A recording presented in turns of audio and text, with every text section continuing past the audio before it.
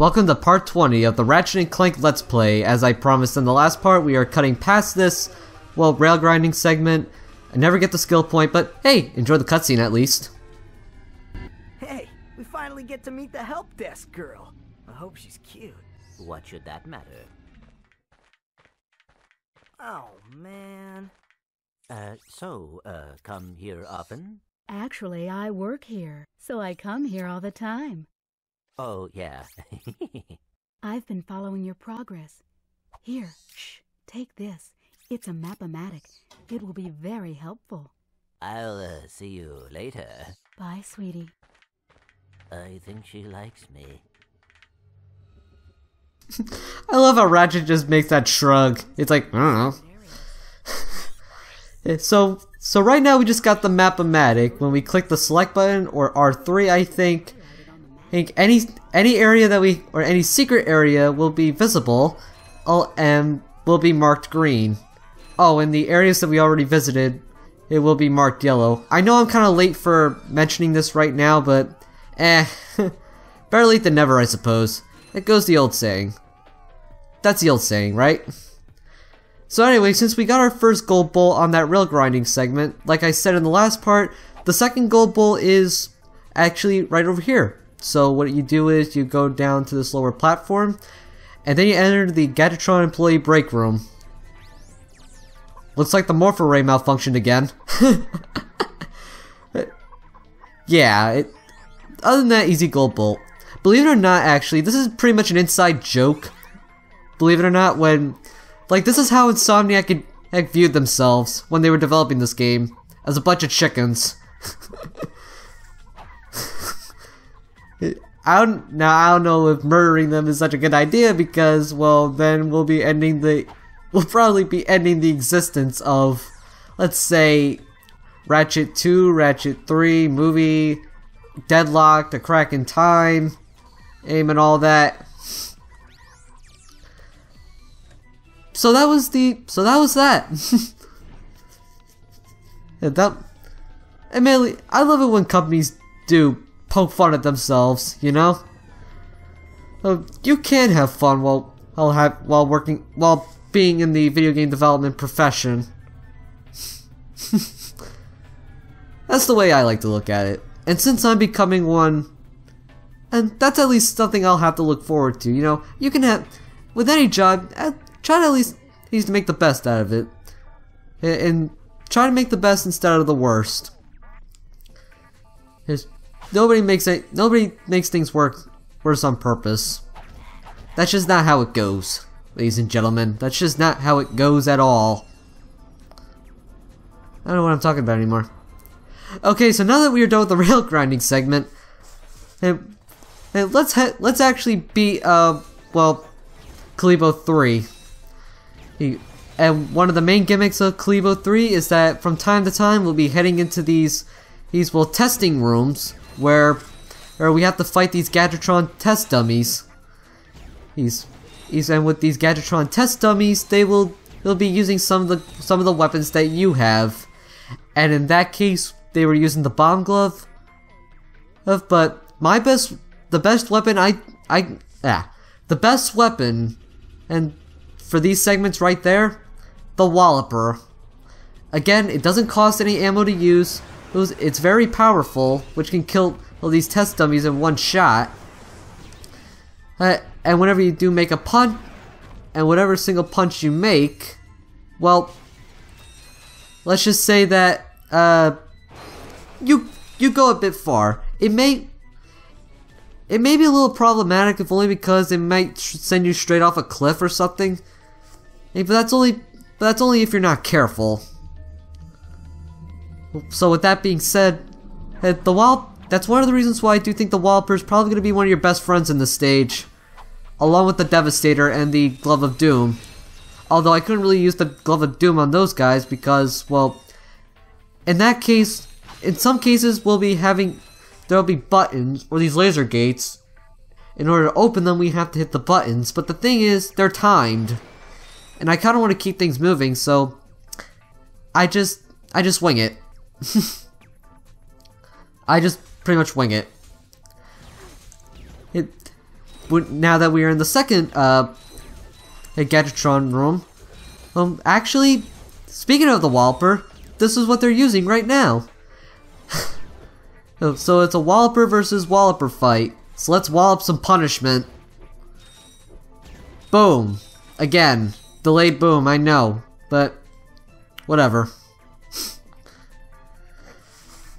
I guess a part of me likes to think that that's what uh, the developers is probably intended to you intended you to have or at least use during those segments. You know, if that's the case, then yeah, I can see that. The wallop, uh, okay, admittedly, I don't really use the Walloper all that much, but in cases like that, it, but for the sake of of going through segments like that, I do think it's really good to have at least. Uh, yeah, like that. Oh. My mind's all over the place today. I tried to record this part after part 19, but lo and behold, I didn't really like that take. Gonna have to wing it this time, but whatever. Again, I keep saying whatever a lot. And I can't get out of that I can't get out of that habit. uh I guess some fun trivia for the sake of filler commentary. Uh, this this in the 2016 remake, this level actually exists. This is and and it's pretty much the same level layout, although that platform with the uh, uh with with the Gadgetron vendor box, that was a bit different. And considering that we actually have to rotate it in the right direction, and with the help of the thruster pack. Um. Um, and in terms of enemies, well, because of the fact that, yes, as it's running off of the, you know, modern Ratchet and Clank logic, with the, you know, upgraded weapon, upgradable weapons, health, and all that good stuff. Not to mention the enemies also do increase. He's, uh, I think it's safe, I, I think it's safe to say that you're in in the 2016 remake, let's just say you're pretty much up for a fight. One hell of a fight. It at least looks nice to look at. Although it actually looked pretty nice. To, it actually looked pretty nice though, I have to admit. and this is me hitting a button the wrong way. I, I don't know, maybe it's because I didn't want to waste any, any Devastator ammo or waste any time going back into the pause select, selection going back back to the pause screen and switch my weapons manually. Switch the Walloper and Blaster out. Eh. I don't know. Maybe, I guess I was pretty lazy. hope I didn't anger. Hope I hope I didn't anger anybody in the comments section for that. And if I did, then sorry. Now we're in the third as for this third one right here, we are now going up against Gadgetron test dummies that are using Pyrocitors. One thing I do want to mention about these is that, that the re another reason why the Walloper is actually such a good weapon, at least for this part, is that they don't, unlike you, they don't go too crazy with the weapons. It's like you do. At least like you naturally would. Like, you know how I'm, like, you know how you can be in this game, you know? Oh, like with uh, the Pyrocitor, you go in circles, or or the uh, or the bomb glove, or hell, just can even go balls to the walls nuts with your ammo. They don't do that, thank God.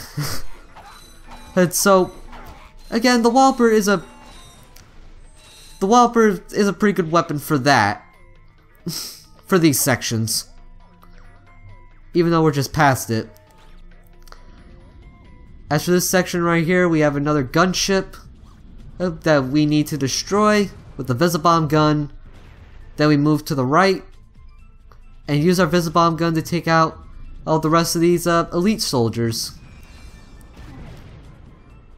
If they, if you do shoot one, again, if you do shoot one of these guys, even if you're really far away, they are gonna notice you and they will shoot.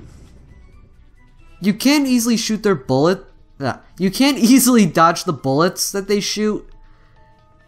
But I still recommend you take these guys out from a far distance. And this way you'll have have more than enough time to move out of the way, especially when you're using the Visibomb gun. And anything to make life easier. Here's a good thing. Kalebo 3 as a whole, well, it's a pretty, it's a pretty decent and challenging level. Well, I have to say, it's nothing unfair. Yeah, it's definitely nothing unfair. And I do like the fact that there are enemies that actually use your Gadgetron, that actually use the, uh, your weapons, basically. Granted, they only use three weapon, three, they only use three of your many weapons. You know, the Bomb Glove, the Pyrocitor, and the Walloper.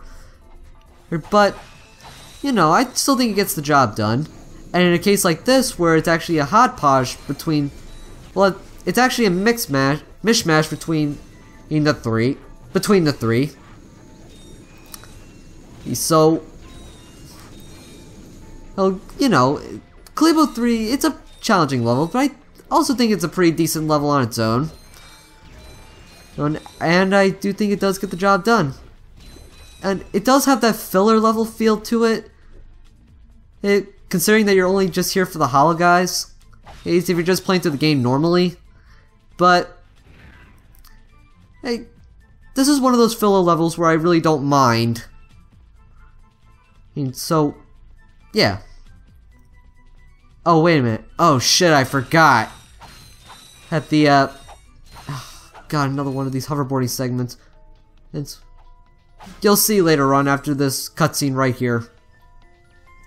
Excuse me, sir. I was wondering if you were concerned about the, uh, invasion? Son, our defenses are the best money can buy. Don't give it another thought. You ever been on a hoverboard? Yeah, once or twice. I am in search of a hip young star to represent my newest line of boards. Someone the kids can look up to.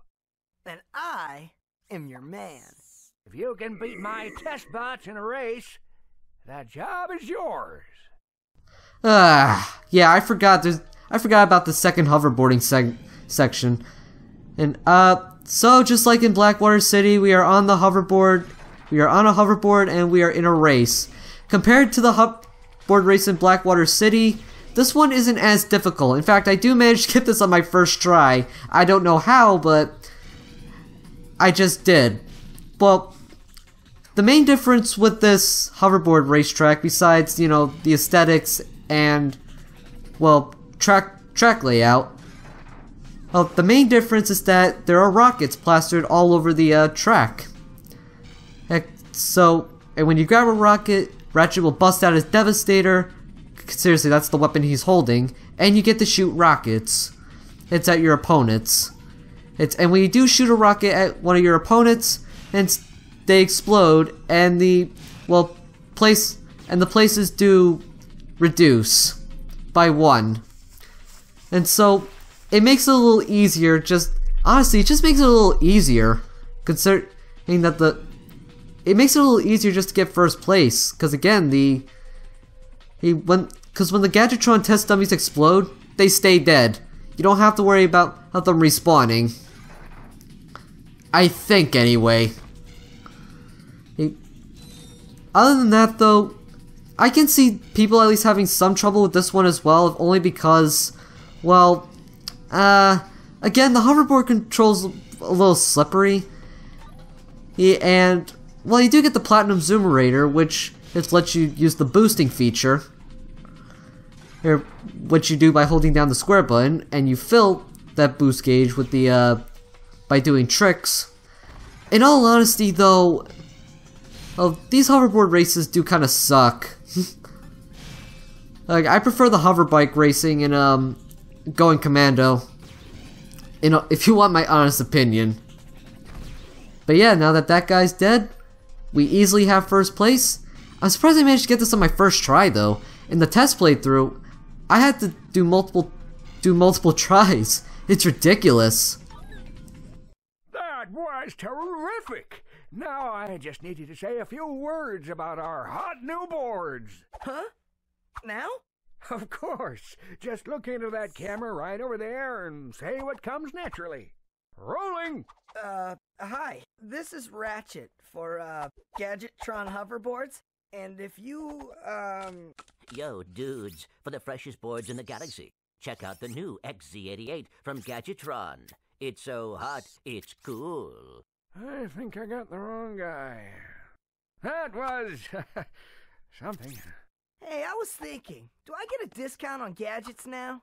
Uh, you have to be with the company for two years before the employee discount kicks in. I can, however, let you have this. The Gadgetron Hologuise is the perfect infiltration device for all our non-robot customers. Simply equip the device and press the circle button. You will instantly be disguised as a SentryBot, preventing detection by all SentryBot security systems. Press the circle button again to wave at fellow SentryBots, who will then deactivate force fields for you. Caution, use of any weapon while disguised will deactivate the Hologuise.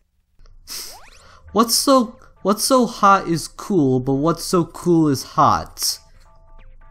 Pop Tart? It's not Pop Tarts. oh man, that that's become one of my favorite Nostalgia Critic gags eggs ever.